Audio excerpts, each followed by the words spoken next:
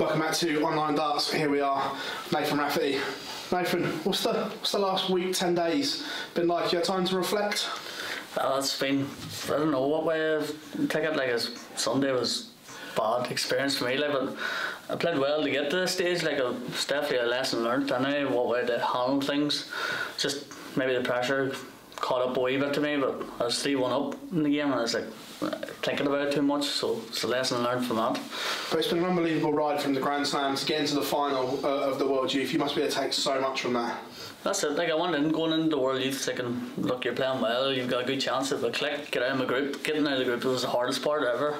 But as soon as I got out of the group, I really showed what I was made of. Like looking ahead, World Championships. How much are you in the um, Bradley Brooks cheering squad at the moment?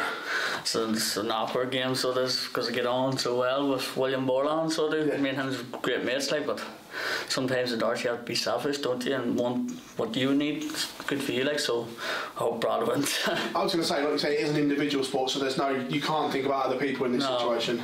No, but I'm still thinking of Q School going ahead to Q School. Like I'm not gonna keep on counting down the days and walk. I don't even know if I'll watch the game to be fair because I'll be too nervous. So let the best man win.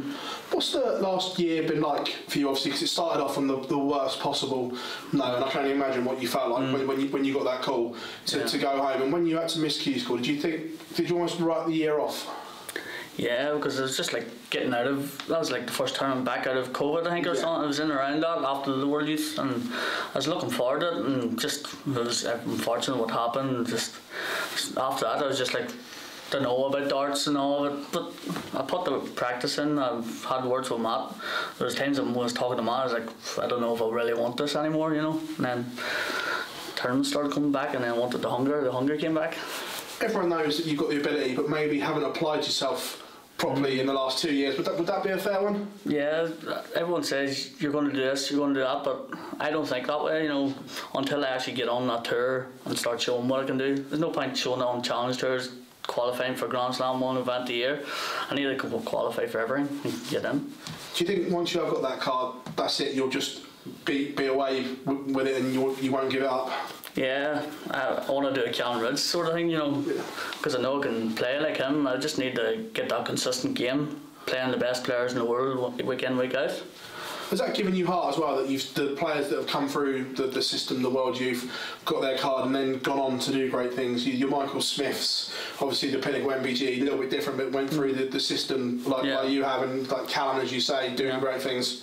Yeah, was much simply well for like people who's been beaten the final of the world youth look what they've done yeah. coming on to it and what have the other people done you know so it's not the end of the world isn't it like there's still not three attempts due one What's the practice schedule like between now and Q School? Obviously, like you say, you're not looking at the world, so is it just head down and work hard between now and then? Yeah, it'll be head down, same as it has been last three months, two to three hours a night after work.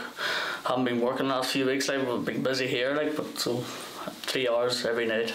So you've made an equipment change as well. Has that made the world of difference? Yeah, I used the same darts for like three or four years there, and then just got something wasn't working, you know. So I fancied a change and used Earl James Wade darts, and sometimes I throw them like him. So I'm happy enough. Nathan, absolute pleasure, mate. Cheers, You're the very best. Thanks Thank very you, much. Mate. Thanks.